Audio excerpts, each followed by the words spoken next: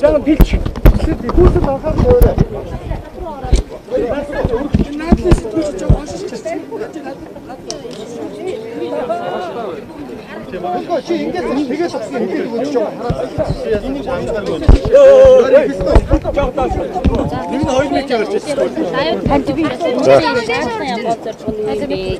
За сайн байцгаана уу? Энэ өмнө өнөөдөр 9 сарын 15-ны өдөр энэ өдөр бол олон улсын арчлын өдөр байгаа.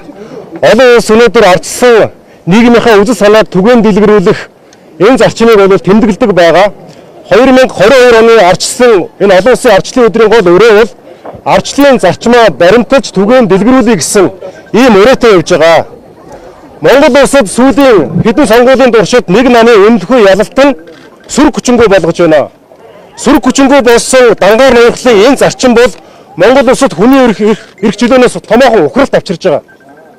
Энтэй зэрэгцээд ардсан намын дотор ойлгомжгүй байдал бий болгох, санаатай санамсаргүй хувь дааны аргаар ардчлаас ухрах, ардсан институцийг булшлах, өрлөн одоо тарчлах ийм зүйлүүд болж байгаа. Сүүлийн үед ардсан намын энэ дотоод зөрчил бол зөвхөн намын дотоод зөрчил төдөөгүй Монголын орчлыг устгахсан санаатай үйл ажиллагаа болж байгаа гэдэгтээ бол залуус бид нэг дугаар өв нэгдэлтэйгээр хэлж байгаа. Хамгийн гол зүйл бол өнөөдөр Содон зөндөн Эрдэнэ гэдэг хүн эрх баригчдын захиалгаар сонгуулийг зохион байгуулдаг нэр дэвшдэг ийм үзэгдэл бий болсон. Түүгээр чүл барам ардсан намын дэргэдэх бүтцийн байгууллагуудыг дахин шинжилж байгаа нэрээр хуурамчаар бий болгодог ийм үзэгдэл газар авсан. Өнөөдөр бид энэ намын дотоод зодоныг яриад байгаа юм шиг боловч энэ бол Монгол эрх чөлөөгүй сүр хүчингү болж байгаа гэдэг дээр бол арсан залуучуудын холбоо өнөөдөр мэдээлэл хийж байгаа. Арсан хамтын холбоог дахиж хувилсан. Ардсан эмэгтэйчүүдийн холбоог дахиж хувилсан. 19-ний өдөр хууль бусаар дөрмийн бусаар арсан залуучуудын холбоог одоо татан буулгаж шинээр зохион байгуулах тухай өөрөө явагдаж байна. Залуучууд бид сүүлийн 2 жил хангалттай удаан төвцсөн. Намын дотоод асуудал учраас эв нэгдлөө олох бах, учир зүгөө олох бах гэж хангалттай удаан хүлээсэн. Өнөөдөр ах нарын хоорондын энэ зөрчил хойч үеийн талцсан хуваах ийм шат руугаа явж байгаа юм аа. Тийм учраас бид нээлттэй энэ үгийг хэлж байгаа. Бид яг одоо энэ чинь 21 аймаг 9 дүүргээс ирсэн ардсан залуучууд эв нэгдэлтэй байгаагаа илэрхийлсэн зүйлсийг бас танилцуулна. Ингээ энд мэдээлэлтэй дараагаар шавхар таавар дээр очиж Содон зөндөө Эрдэнэ гэдэг хүнд шаардлага өргүүлж тэнд байгаа намын тугийг буулгаа авах ажиллагаа хийнэ. Мөн бид нар Батлаг тэргүүтээ ардсан намынханд бас шаардлага тавьж байгаа. Яагаад ардсан намыг ингэж олон дахин хувааж байхад дуухгүй байгаа юм бэ? Ер нь эвлэрэл гэдэг зүйлийг залуучууд санаачилж байгаа маа. Хоёр тал харилцан буулт хийж хууль ёсны нэг ардсан намтай болох ажиллагааг арсан залуучуудын холбоо санаачилж байгаа. Ийм учраас бид өнөөдрөөс эхлээд тодорхой хүчтэй сөрөг хүчний акц хийх болно. Манай ерөнхий нарийн бичгээр Амглан Баатар 21 аймаг 9 дүүргээс одоо ирүүлсэн арсан залуучуудын холбооны бичиг болон өнөөдрийн Содон зөндөө Эрдэнэ төгөх шаардлагыг ууш танилцуулнаа. Нэг юм тодруулчих жоох уу? За эхлээд өнөөдөр ярьчих. Дараа нь. За та бүхэнд бас өнөөдөр энэ олон улсын арчлын баярын мэнд хүргэе. За өнөөдөр ардсан залуучдын холбооны холбооноос одоо 19-ний өдөр зарласан одоо Содон зөндөн Эрдэнэ гэдэг хүний зарласан одоо хуралд оролцохгүйгаа мэдэгдэж ардсан залуучдын холбооны 31-жээс ирсэн энэ нэг мэдгдлүүд байна. Ингээд аймаг аймагаараа нэг ч нэг ч хоцрохгүйгээр энэ аймагуудаас энэ хуралд 21 аймаг 9 дүүргийн ардсан залуучдын холбооноос ямар ч төлөөдөд оролцуулахгүй, оролцохгүй. Жишээ нь одоо Баян үлгийн аймгийг одоо ямар ч одоо бид биднийг төлөөлж энэ хуралд хин нэгэн суухгүй гэсэн одоо юм 31 жи маань одоо бичиг байна. Содон зөндийн Эрдэнэ болон түүний одоо дагалдагч нар ардсан намыг одоо хуваах, хүчгүүдүүлэх, өнгөөдүүлэх, Монголын ардчлалыг устгахаар эрх баригчтай одоо гар нийлэн улаар нь одоо зүтгэж байна. Өнөөдөр 21 аймаг 9 дүүргийн ардсан намын дараа нарыг солилцсон тэд нэр. Хоёр хоёр зэрэгэлдээ ингээд параллел нам болгоцсон. Жишээ нь ардсан нам 8 аймагт ялсан. Ялсан 8 аймгийн ардсан намын даргаыг бас солилцсон байж байгаа. Энэ үйлдэлийг юу гэж ойлгох вэ гэхээр Содон зөндөө Эрдэнэ гэдэг хүн эрх баригч нартаа нийлэн арчсан намыг үнгүүдүүлэх, тамирдуулах, цаашдаад арчсан намыг бүр устгах үйл ажиллагааг улаан хийж байна. Өнөөдөр залуучууд бид нар арчлын төлөө, арчсан намын төлөө, эх орныхоо төлөө энэ мэд уугүй үйлдэлтэй бол улаар нь тэмцэх болно. Бид хизээч ийм зүйлийг дуугаа сууж харж өнгөрүүлж чадахгүй. За ингээд арчсан залуучдын холбооноос одоо содон зундуу эрдэнэд одоо шаардлага үргүүлж байгаа. За энэхүү шаардлагыг одоо та бүхэнд бас уншиж танилцуулъя.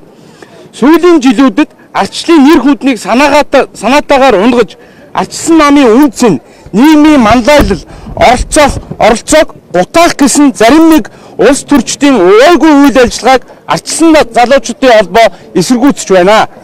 Явцуу их ашиг сонирхлын бүлэглэлийнхаа хүрээнд арчсан намын тамгаар тоглож арчсан залуучдын холбооны 90 мянга 90 мянган гишүүд гишүүдийг хаглан бутаргах үйл ажиллагааг хийж өг одоо эсэргүүцэж байна.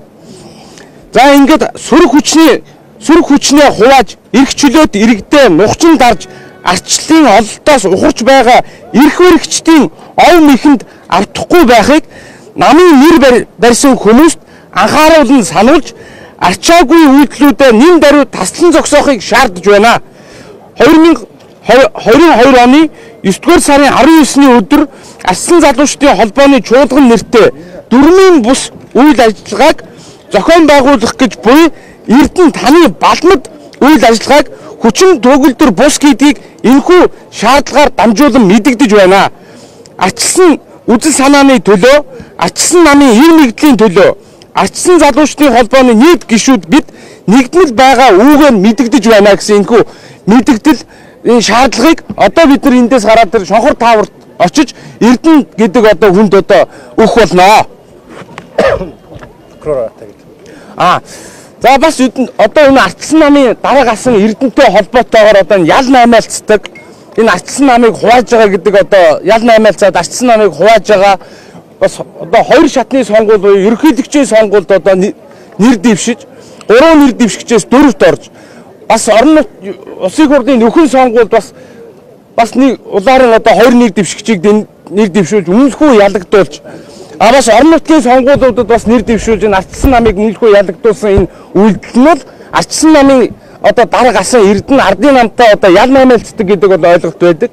За үүний хүрээнд ардсан залуучдын холбоо бол улсын ерөнхий прокурор болон авилгатай тэмцэх газарт бас одоо хүсэлт хөргүүлж байгаа. Энэхүү хүсэлтийн утга нь бол за энэ содон зундуу гэдэг эрдэнэ хүнд ерөн эрүүгийн хэрэг үүсгэсэн юм уу? Үүсгэсэн бол одоо хідэн хэрэг байгаа юм. Хэрэг хаагдсан бол одоо ямар хэрэг байгаа юм? А одоо шалгагдаж байгаа бас ямархуу хэрэг байгаа юм. Энэ хэрэг нь ямархуу үе шатан дээр явж байгаа юм. За энэ нь одоо бас хизээ шийдэгдэх юм бэ гэдэг одоо энэ хүсэлтийг авилгатай тэмцэх газар болон Улсын ерөнхий прокурорт бас хургуулж байгаа өнөөдрөө. За хяналтын орны дарга Төмөр Батар. За Адсан зүүчтэй холбооны хяналтын зөвлөлийн дарга Төмөр Батар гэж хүн байна. Би нэг 3 4 хоногийн өмнөөс энэ мессежийг хэлээд байгаа. Ингээд Эрдэнэ 200 сая төгрөгөөр энийг авч гараа. 200 сая төгрөгөөр Адсан зүүчүүдийн холбооны ориг тамга нь энэ байна. А энэ тамгыг гээсэн гэж улсын бүртгэл дээр зарлуулад хэвлж аваад Тэгээд улсын бүртгэл тамга хийж өгөөд энэ тамгын маань 200 саяар зарах гээд байгаа маа. Биднэрт бол албан ёсны тамгатай албан ёсны залуучуудын байгууллага энд байна. Нэгт. Энэ 2017 онд Эрдэнэ улс ерөнхийлөгчийг сонгогдоход шинээр авсан тамга байгаа. 4 жил хэвийн үйл ажиллагаа явуулж байгаа тамга байгаа маа. За энэ дээр дараа нь эхлээд тодруулъя. Эхлээд бид нар нөгөө мэдээлэлээ өгчээ. А хоёрдугаар Ардсан залуучуудын холбооноог одоо ингэж хоёр хувааж хурлыг нь зарлахаас өмнө ардсан ахмадын холбоо, ардсан эмэгтэйчүүдийн холбоог бас хуваасан байгаа. А энэ үед албан ёсны ардсан нам маань бас залуучуудын холбооноос өмнө албан ёсны байр суурь илэрхийлээгүй байсан. Тийм учраас албан ёсны ардсан намдаа залуучуудын холбооноос бас шаардлага хургуулж байгаа. Энэ шаардлагыг уншиж танилцуулъя. Монгол улсын иргэний эвлэлтэн нэгдэх эрхийг хангах зорилгоор улс төрийн нам байгуулах намын зохион байгуулалт үйл ажиллагааны эрх зүйн үндсийг тогтоож үүнтэй холбогдсон үүсэх харилцааг зохицуулах хүмүүнлэг иргэний ардсан нийгмийг зохицуулан хөгжүүлэх нь улс төрийн намын үндсэн үүрэг билээ. Гэвч сүүлийн жилүүдэд арчлалын нэр хүндийг санаатаагаар унгаж арчлалын үнцийг нэр хүндийг гутаах намайг хэдэн хэсэг болгон хуваах гэсэн явцуу ашиг сонирхолтой эс эрдэнэ тэргүүтээ бүлэг этгээдүүдэд ардсан намын тамгаар тоглоо зогсохгүй намын дэрэгдэх бүтцгийн бүтцийн байгууллагуудыг хаглан бутрахах бутгах бусрамг үйл ажиллагааг шат дараалан зохион байгуулсаар байна. тэд ардсан ахмадын холбоо, ардсан эмэгтэйчүүд эмэгтэйчүүдийн холбоог дөрвийн бус аргаар хаглан бутгах үйлдэлийг хийсэн бөгөөд одоо 90 гаруй мянган гишүүнтэй залуучуудын байгууллага ардсан залуучуудын холбоо руу халдаж эхэллээ. Иймд ардчлалын үзэл санаа, ардчлалын эв нэгдлийн төлөө эрдний бусармаг дөрмийн бус үйл ажиллагааг таслан зогсоож намын дэрэгдэх бүтцийн байгууллагыг хамгаалахыг ардсан нам болон түүний удирдлагаас шаардаж байна. Энэ нь Батулга дарагтай албан ёсны ардсан намаас бас залуучуудын холбоо шаардж байгаамаа. За тунц.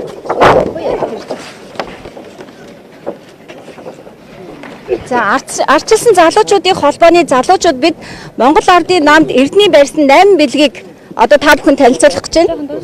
2020 оны улсын хурлын сонгуул 2021 оны Монгол улсын ерөнхийлөгчийн сонгуул мөн хинтээ хинтээ болон сонгон найрхан дүүргийн нөхөн сонгуулиудад За дээрээс их баригчдын бэлэг барьсан. хүчээ нэгт гэж Тий. За дээрээс нь арчилсан намын даргын сунгаа а энэ дээр бас бид нар юу яаж байна? А тэрнээс гадна арчилсан ахмадын холбоо, арчилсан эмэгтэйчүүдийн холбоо, одоо арчилсан залуучуудын холбоо.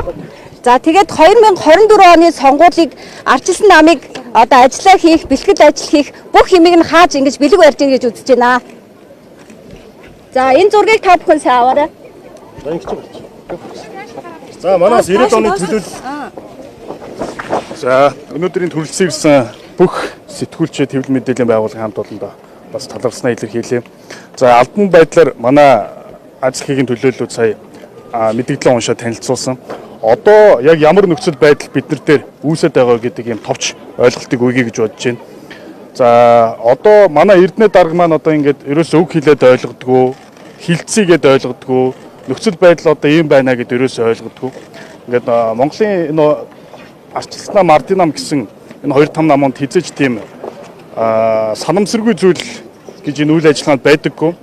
Тэгээ энэ дандаа ардын намын гар хөл болж манай Эрдэнэ дарга маань энэ үйл ажиллагаануудыг хийгээд байгаа гэдэг цаг ирэх тутам манай залуучууд манай арчилсан намын гишүүд бол бүр итгэсээр байгаа.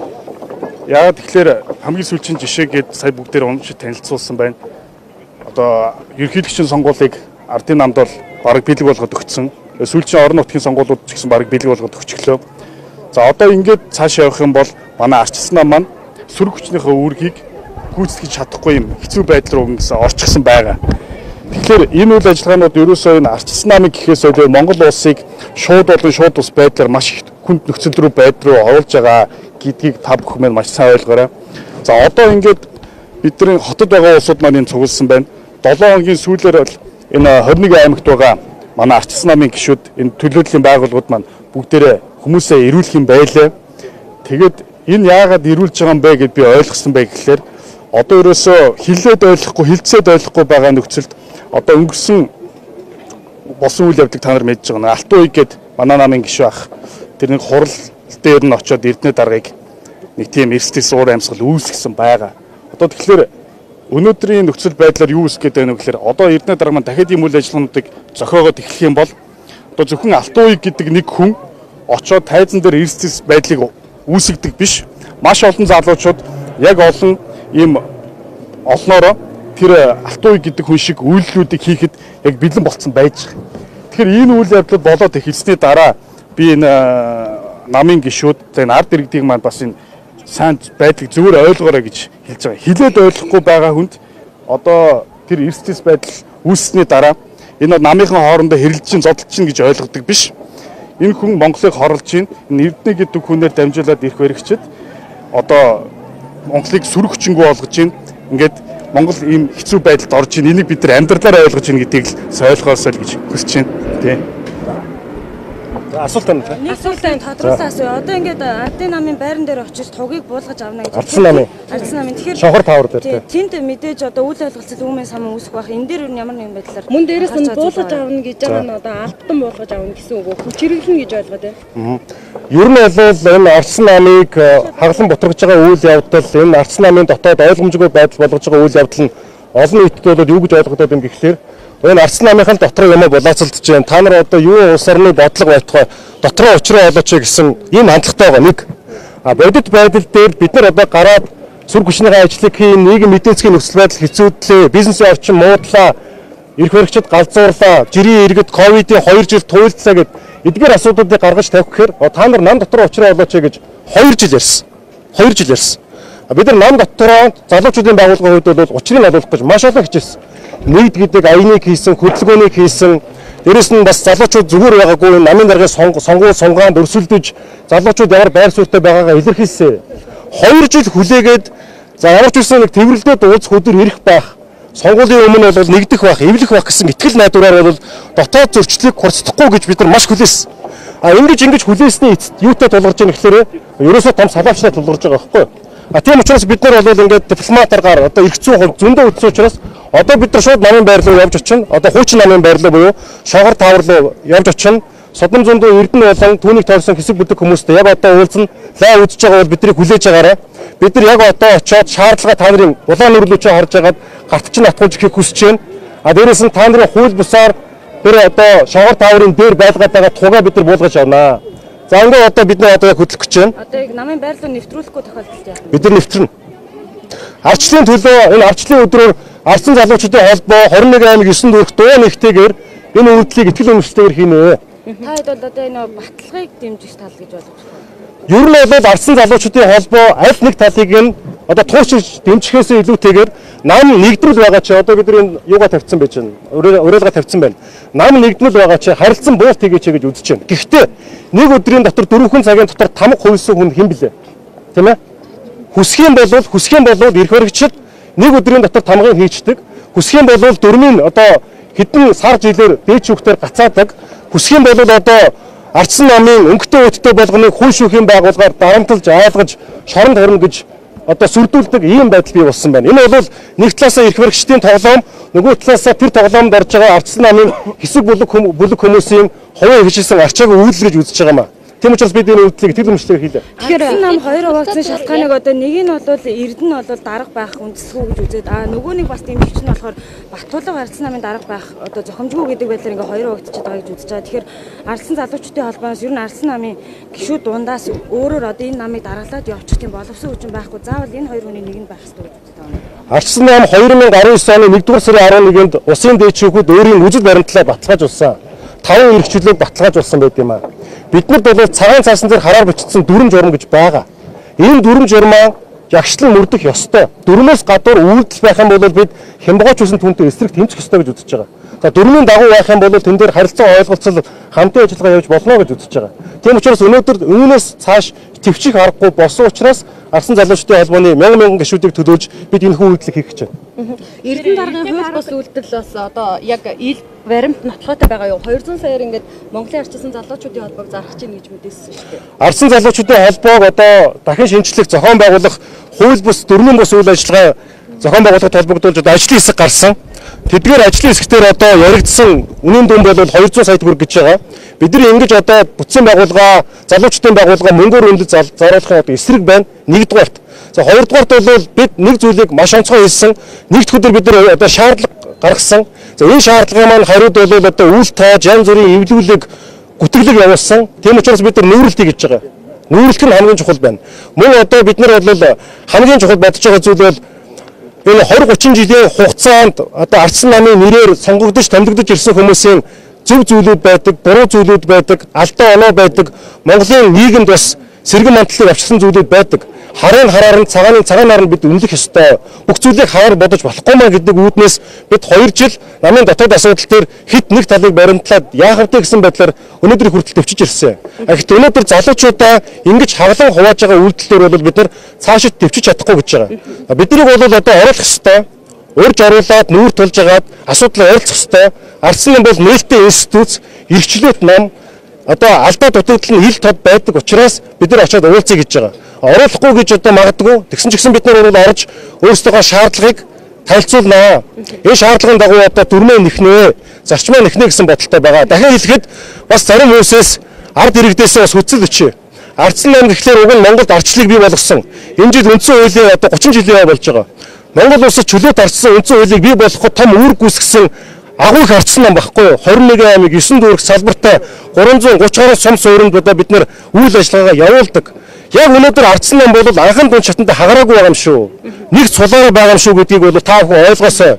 А зөвхөн ардсан намын нэрийг барьж энийг одоо зарах дамлан наймаалцах улс төрийн явцуу ашиг сонирхлоо хангахын төлөө цөөн хүний тохиролцсон өнөөдөр ардсан намыг муухай харагдуулж байгаа учраас энэ байр суурьтай арсан залуучуудын холбоо мөн ардчлан үзэл санааг дэмжигч мянган мянган залуучууд бид эвлэхгүй нэгдэхгүй гэдэг зарчмаа өнөөдөр илэрхийлж байгаамаа. Та сая 21 аймаг үйлчлүүдээ үргэлжлүүлээд байвал яах юм бэ? Цааш ямар арга хэмжээ авах? Бид зогсохгүй, бид зогсохгүй. Бид одоо энэ төрмөс шахан шаардна Ер нь бол энэ ардсан намыг одоо ингэж хаглан батаргаж байгаа явдал бол үзэл санааны хуваагдал биш. Энэ бол явцсан хүмүүсийн явцсан ашиг сонирхол зарим эрх баригчдын одоо сонгуулийн үр дүнд нөлөөлөх гэсэн сонгуулийг одоо хуульчилсан аргаар дэрэмдэх гэсэн үйлдэлийн үр дүн гэж та бүхэн ойлгож байгаа. Бүгд л мэдж байгаа шүү дээ нэг. Ямар нэгэн байдлаар хүч хэрэглэсэн тохиолдолд нийгэмд буруу үлгэр дуурайл үзүүлэхээс одоо яаж урьдчилан сэргийлэх юм бэ? Хүч хэрэглэнэ гэдэг бол бид өнөөдөр одоо шүн одоо янз бүрийн одоо нүрээ хасгасан хүмүүс дайрч ороод хулгай зэлэг хийх гэж байгаа тухайн асуудал огт биш. Бид бол гигэн цагаан өдөр их эзэн бог Чингис хааныхаа талбай дээр өдрийн нарны гэрэл дээр та бүхэнтэй нээлттэй ярилцаж энэхүү шаардлагаа уншиж танилцуулж байна. Яг одоо бас яг өдрийн нарны гэрэлд бид нүрээ харуулад хамтдаа очиод уулзын нүр нүрээ харж агаад энэ учир начраа олцоо гэсэн ийм зарчимтай байгаа. Та сая 21 аймаг 9 дүүрэг яг ийм нэгдэлтэй цул байгаа гэж хэлсэн шүү дээ. Гисэн хэдий ч одоо ингээд залуучуудын холбоо, ахмадын холбоо, тэдгээр их хурал гэдэг нөгөө талд одоо ийм их хурлуудыг зохион байгуулад агүй их тийм мэдээллүүдийг хүргэж ийн л та. Өнөөдөр яг одоо түрүү амглан манай Хинсекийн төрөний үзүүлсэн бичиг байгаа. Энэ бичгэн дээр 21 аймаг 9 дүүрэг нийслэлийн арсан залуучуудын холбооноос ирүүлсэн одоо гаргаад өгч. Ирүүлсэн бүх одоо олон балааг тамга тэмдэгтэй энэ хууль бус эрдэнэ зохион байгуулж байгаа хууль бус дөрвөн бус зүйлд оролцохгүй гэсэн зүйл байна. За эдгээрийг бол бид нар бол одоо хил мэдээл тав хүнд ингээд өгчээ. Танай арсан залуучуудын холбоо одоо яг нам шигэ бас хоёр хуваагдсан байгаа юу? Үгүй. Ардсан залуучуудын холбоо 90 гаруй мянган гишүүнтэй 21 аймаг 9 дүүргийн бүтц маань одоо та хүн харж байгаа хэм жишээлбэл Хов Сүмбэр аймагаас бид нэгдмэл байгаагаа илэрхийлж байна. Талбайс нэг одоо Буланкан дээр явуулж байгаа. Энэ бол Булган аймагаас ч гэдэг юм уу. Энэ бол Сонгон хайрхан дүүргээс ч гэдэг юм уу. Энэ бол Говь Алтай аймагаас гээд энэ 31 нэгж маань 31 үлээ яах нь нэгдэл байгаагаа илэрхийлсэн байгаа. Бид бол хуваагдаагүй байгаа. А Эрдэнэ гэдэг хүн тодорхой хэмжээнд 8-ны аргаар манай залуучдын холбоог хуваах үйлдэл дөрвөн бас үйлдэл хийх гэж байгааг бид эсэргүүцэж байгаамаа. За одоо бүгд нэг хамтдаа энэ шогор таавар руу явах та бүхэн уриалж байна. Түр зур энийг ингээ бариад өөртөө холдоод харуулж ирсгүй камеруудад. За сэтгүүлч дөрөв авчиж байгаарай. Манайх нэг бөөгнөрөө зогсчихгүй.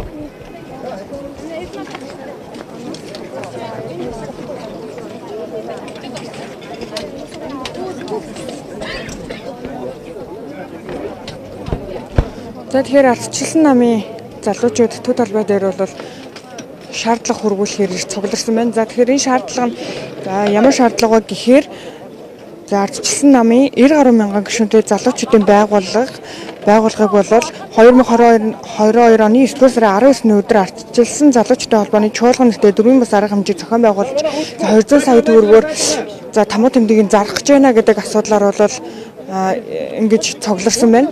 За одоо энэ энэ бүхэн энэ одоо залуучдын холбооны төлөөллүүд болохоор одоо шохор тав дээр очиж жис эрдэнэ шаардлага хөргүүлж за тугаа болгож аавна гэдэг мэдээллийг бол хүргэлээ.